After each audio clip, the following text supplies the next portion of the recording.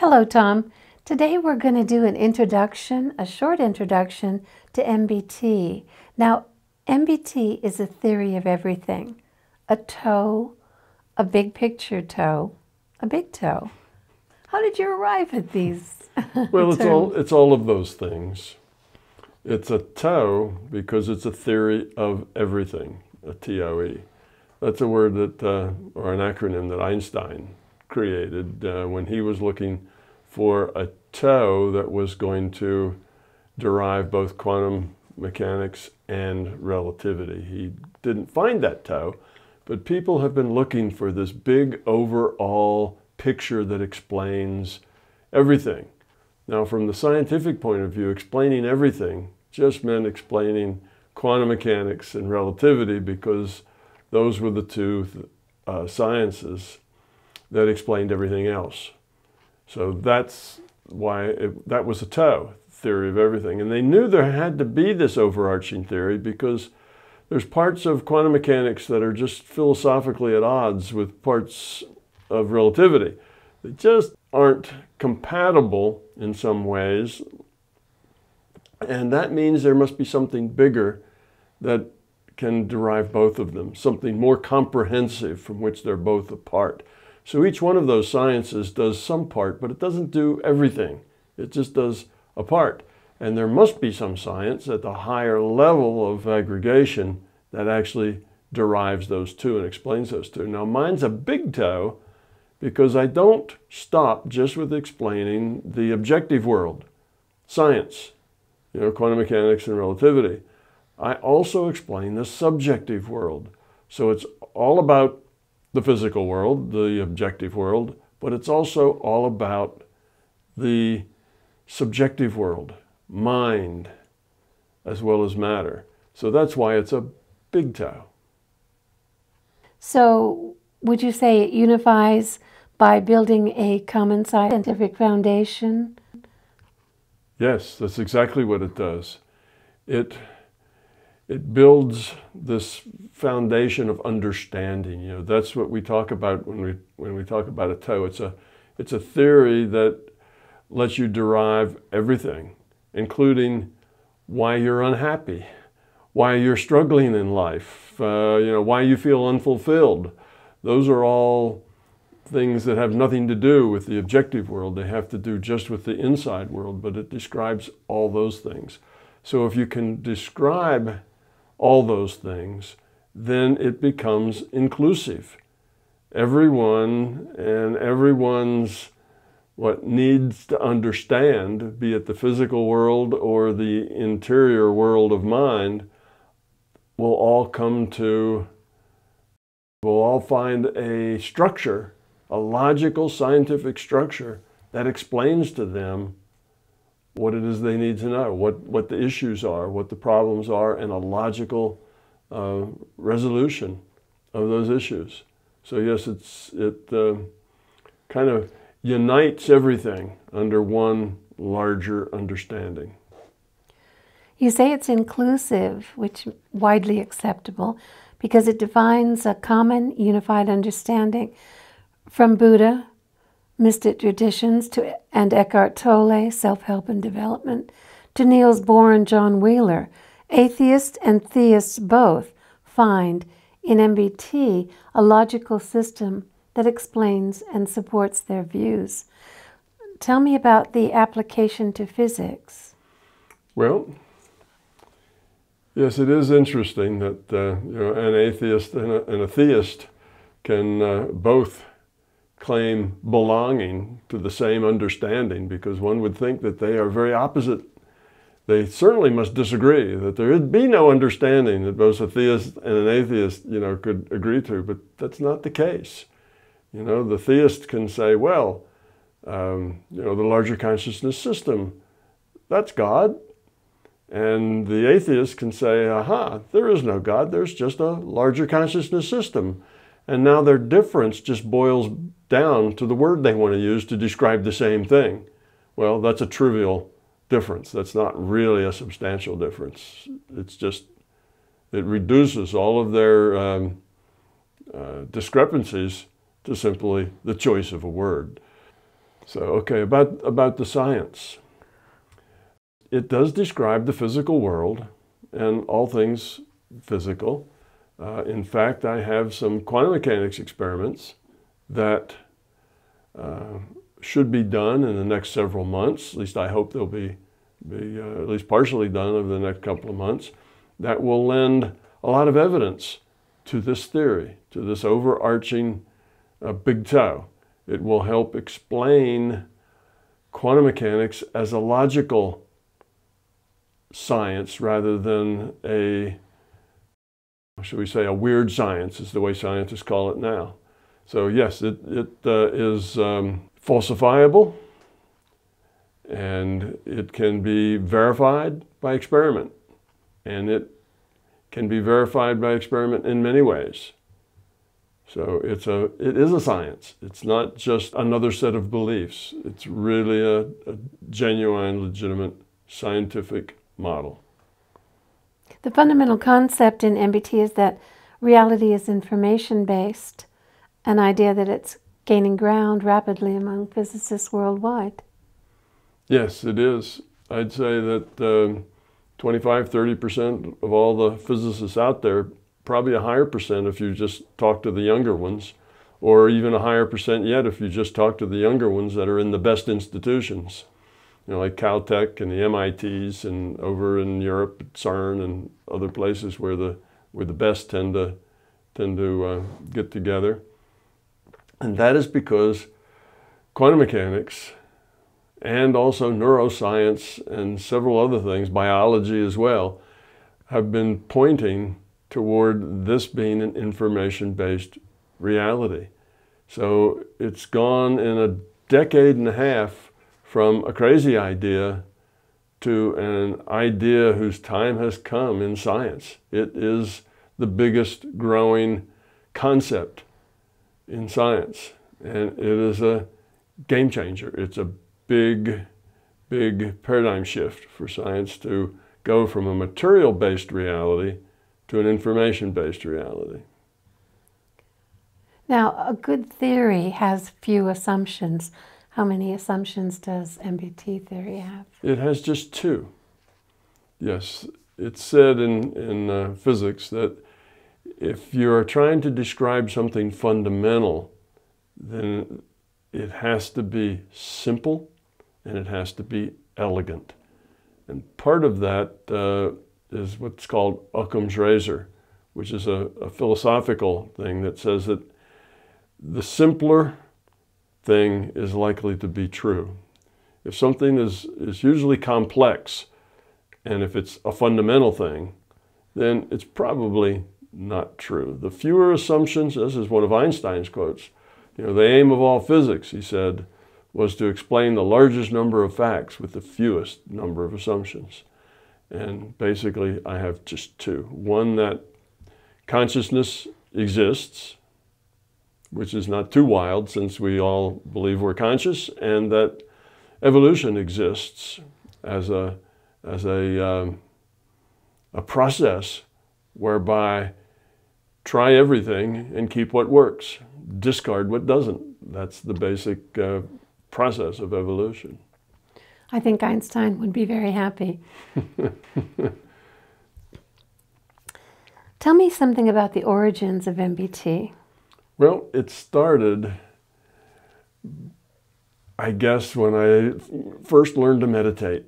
That was probably the beginning of my understanding of a bigger reality. And I was in graduate school. I saw a sign on a door going into the physics building that says, get by on less sleep. And I said, ah, perfect. I need to get by on less sleep.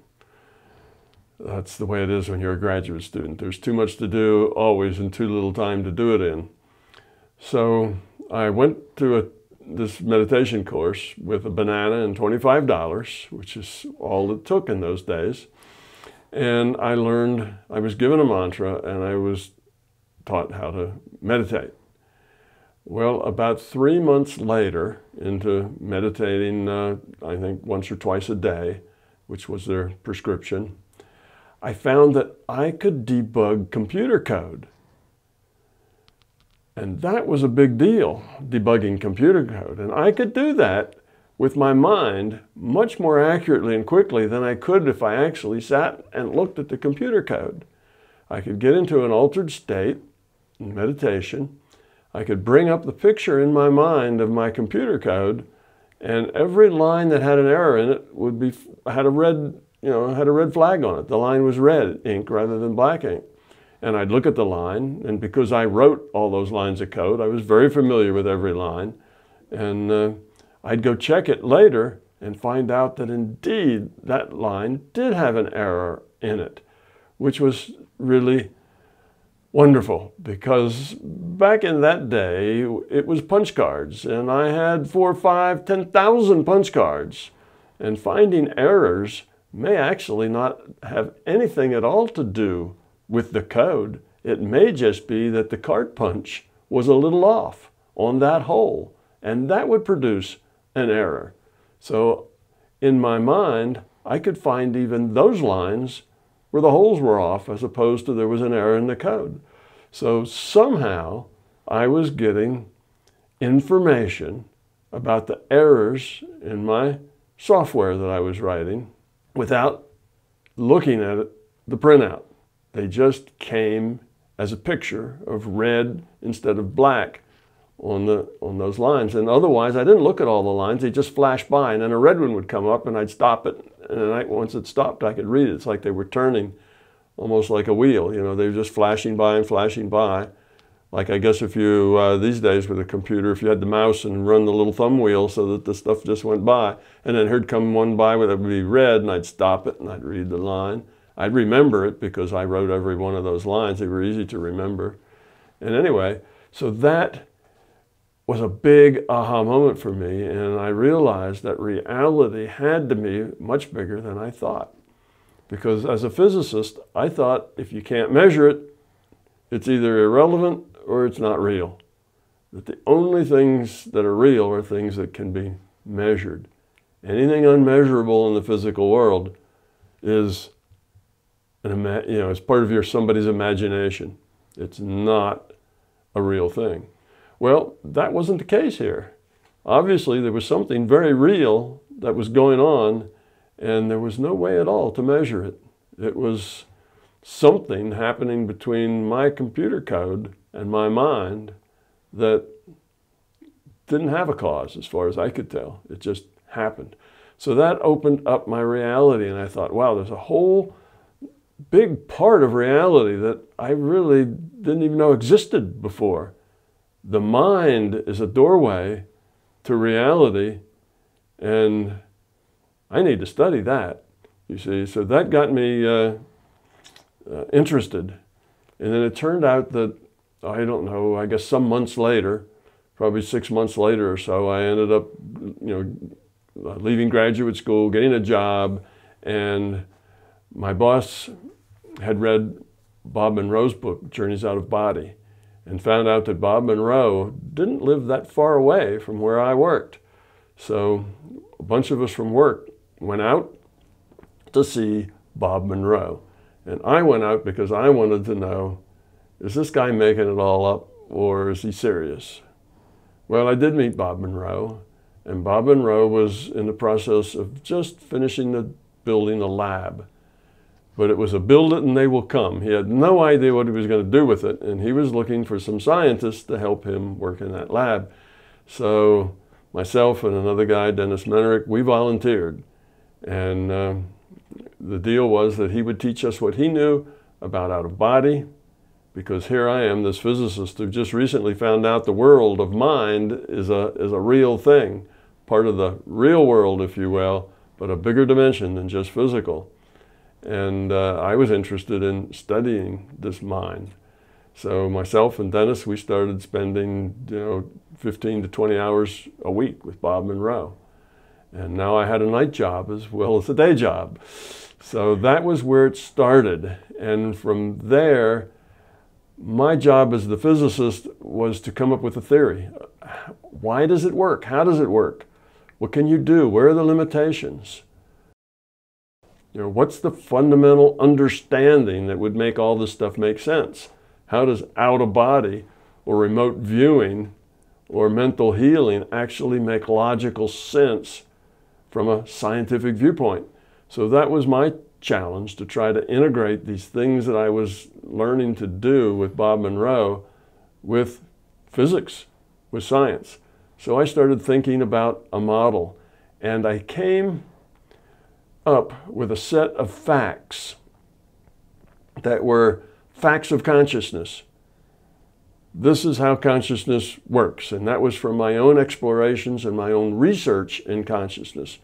After a while, I could duplicate altered states of consciousness pretty exactly. I could always go back to the exact same state I was in. So I could change a variable, you know, see what difference it made, go change another variable, see what difference it made. I could do research there. And eventually I had a bunch of facts of consciousness. Now, these are all uh, subjective facts because it was my consciousness, my experience. It's not something that a group of us could stand around and, and poke at. It was my own experience. But I knew that these were facts because I didn't just look at them and make them up.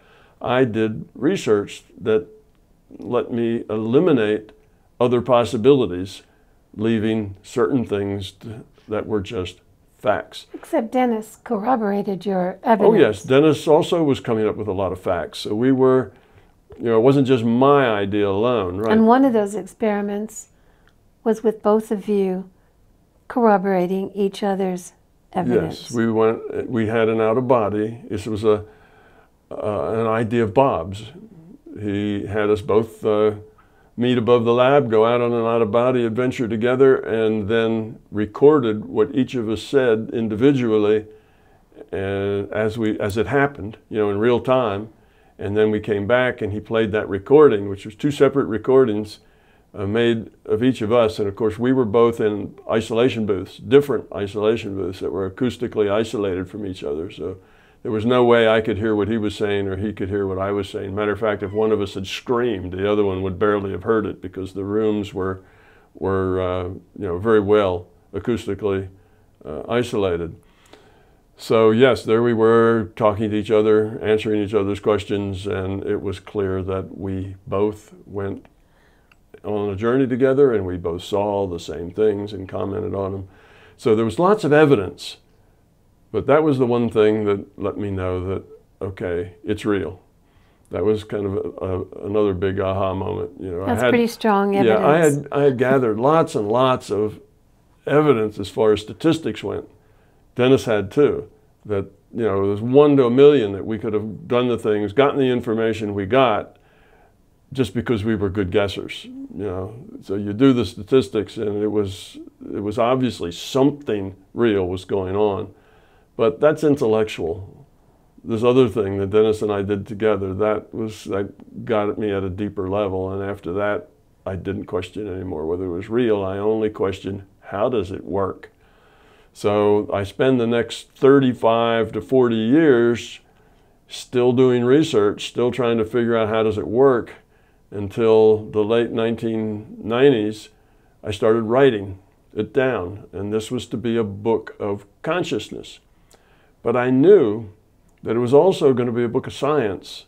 But I didn't have a lot of that flushed out yet at that time because I knew that consciousness was fundamental and the physical world, which is where the science is, was not. The physical world was derivative. And that's because I could change things in the consciousness world and things would change in the physical world. In other words, I could do something in consciousness that would create a change in the physical world. But it didn't go the other way. I couldn't do anything in the physical world that changed anything at all in consciousness. So that meant that consciousness was the fundamental reality. Was the fundamental reality, and that the physical reality was a derivative somehow of that fundamental reality. So that was that was one of my facts of consciousness. So now here I am, a physicist, and it's some 35 years later or so, and I've got this whole set of facts that are my facts of consciousness. And I have another big set of facts that are my facts of physical reality. And I tried to make a model that would answer all of those facts. One overarching set of ideas that would explain everything that I had, all my facts in the subjective world and all my facts in the objective world. And I did that. I, I wrote the book, My Big Toe, and that's why I called it the Big Toe, because it was a toe and it was bigger than other toes because it was both subjective and objective. So that's where the model came from. And then, about two years after I had published this book, and as I say, it was mostly consciousness theory, and it talked about science because I knew science had to be derived from this conscious theory, but I didn't really know how to do that. But in about two years, it came to me I realized that I could derive quantum mechanics from the very same principles that allow me to derive consciousness. This overarching set of principles actually had the solution to the double slit experiment explained logically, not explained with silly things like the particle interferes with itself, you know, those kinds of things. Particles don't interfere with themselves. You know, quantum mechanics is weird science. From the right perspective, it's not weird science. From the right perspective, a perspective gained from understanding consciousness, it works out perfectly. You don't need to shut up and do the math. You can just look at the logic and come to the answer, just like any other science. So at that point, I started looking for other things that uh, I could explain in the physical world. And it just took me a few days to, to realize that I could also explain relativity. Relativity is based on the fact that speed of light is always a constant. And my theory of consciousness said, well, of course, the speed of light always has to be a constant. It could not be any other way. Matter of fact, every reality that is information based or every virtual reality has an upper speed limit. It's the nature of virtual reality. So then I solved that problem. Then I started looking for other, we call them paradoxes, things that people know are true because they've measured it in an experiment, but they have no idea why it's true. We call those paradoxes. And there's lots of them in physics. Lots of them in physics. Like, where did that ball of plasma come from that was the Big Bang that created our universe? Couldn't come from our universe because our universe didn't exist yet. It had to pre exist our universe. But if our universe is everything there is, then that's a logical problem. How did that ball of plasma under that high temperature and pressure get there? Big paradox. There was a paradox called the Zeno paradox, which had to do with uh, if you measure a decaying atom quickly enough, if you keep measuring it, it'll never decay. And that was another paradox. There were paradoxes about basic physics, like where does time come from? Where does mass come from? Where does gravity come from? Where does spin come from? Where does charge come from? all the fundamentals of physics and all the rest of physics is based on those basic quantities, and physicists have no idea where any of them come from. They're totally non causal. And if you look at the philosophy of physics, they're just there because they're there. They have no cause. Well, that's not that's not very good. This is a science. You know, it's mysticism has no cause. You know, it's uh, science uh, needs causes. With this understanding of consciousness, then I knew exactly what the causes were of time and space and mass and all the rest of that stuff were now not mysterious at all. They fell right out. So I looked at lots of paradoxes, paradoxes in physics, paradoxes in science in general, uh, paradoxes like the things that Bruce Lipton talks about. He talks about uh, these epigenetics that where conscious intent modifies the genetic structure of a body.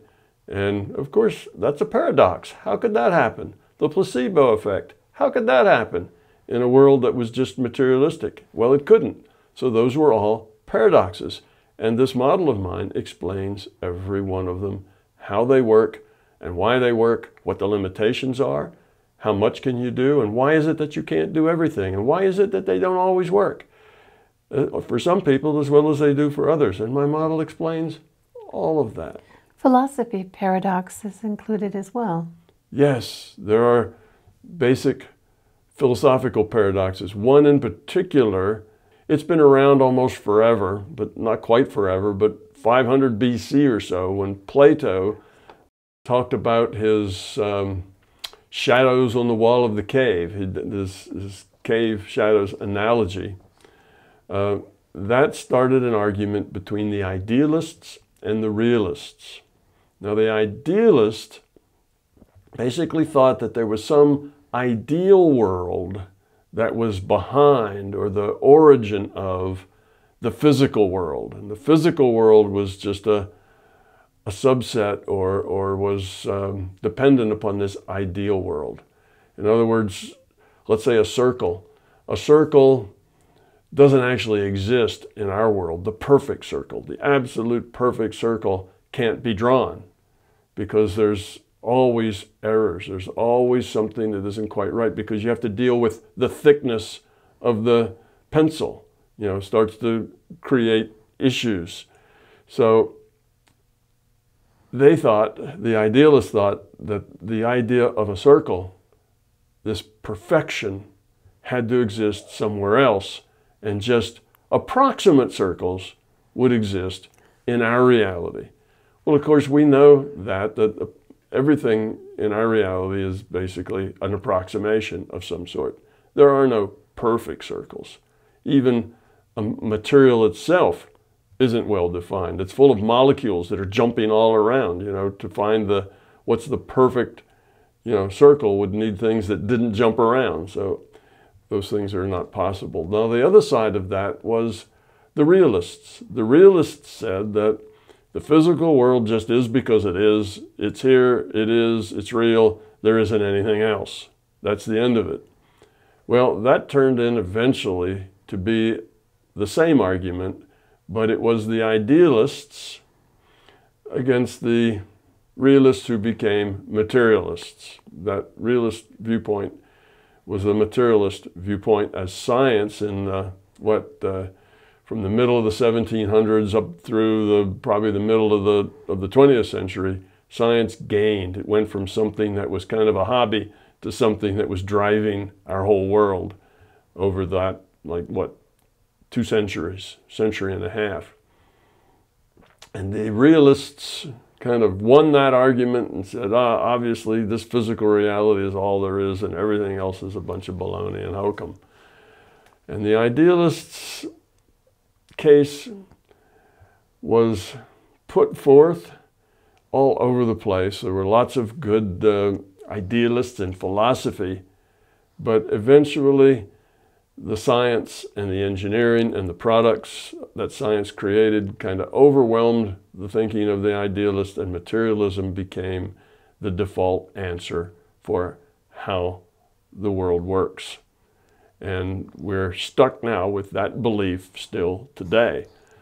Yet in the late 1800s and the first, oh, I don't know, the first five or 10 years of the 20th century, an experiment was done called the double slit experiment, which clearly came down on the side of the idealists. That experiment said that this reality cannot be materialistic. It is not a realist reality. And there wasn't any way really to escape that conclusion. So physicists at the time thought, wow, we've got a big new idea here. Big paradigm shift is about to take place, but they really didn't know what to do next.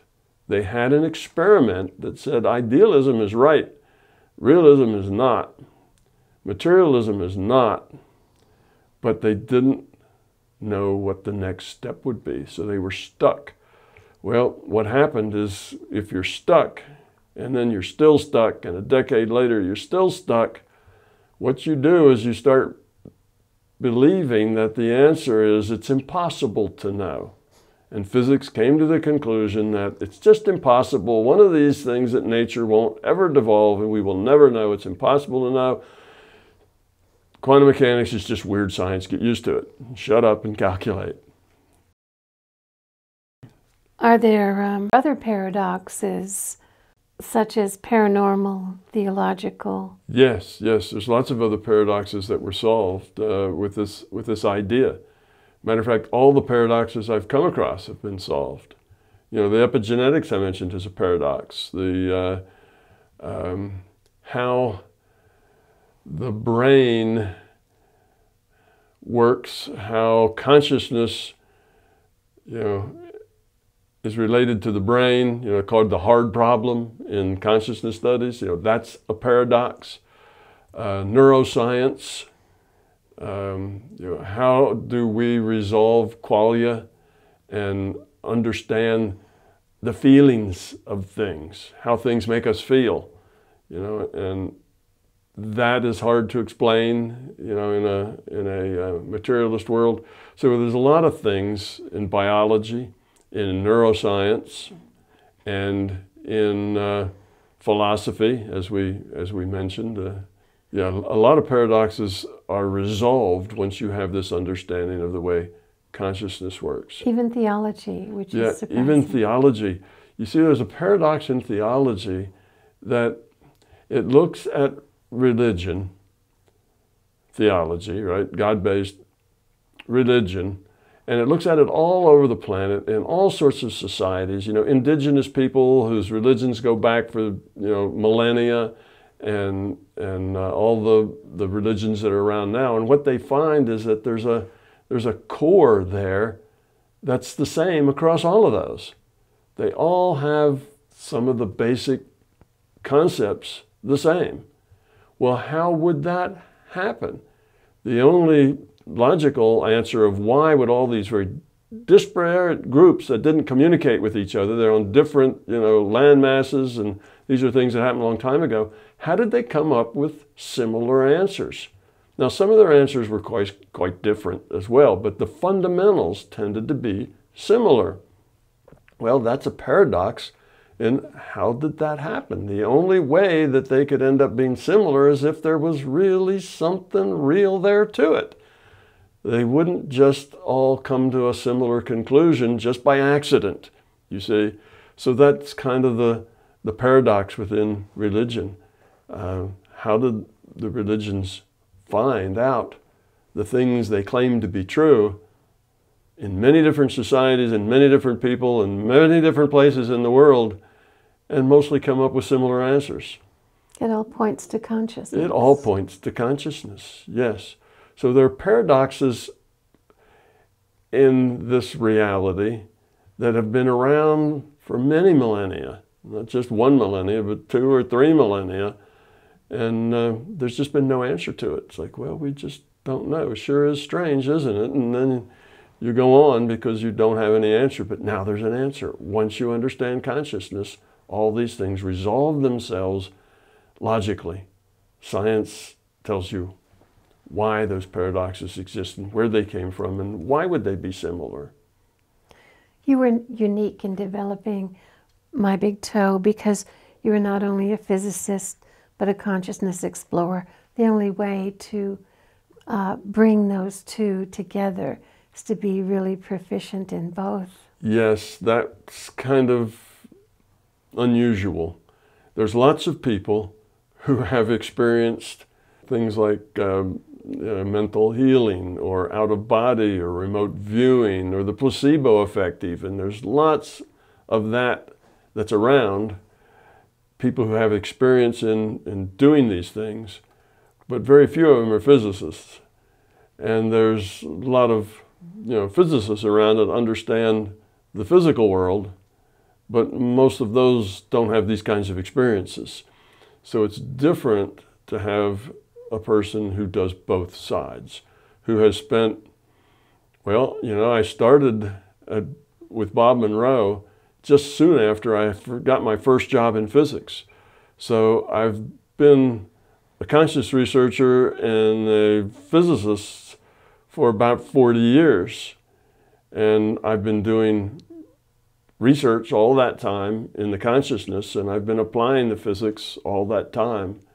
So I've had dual career in both.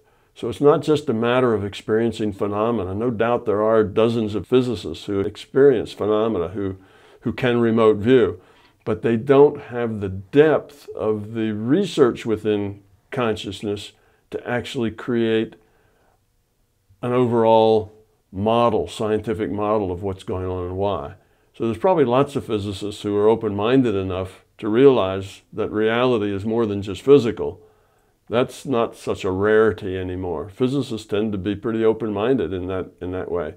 But by coming up with a theory that uh, is very unusual, that they understand consciousness more than just the phenomena that shows that consciousness is there.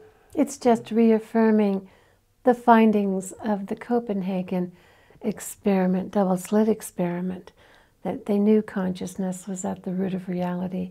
And it took a little bit of time for someone to come up who was both a physicist and a consciousness researcher mm-hmm. to put mm-hmm. those two together. Exactly. And it is very rare. Yeah, exactly, because they knew consciousness is involved.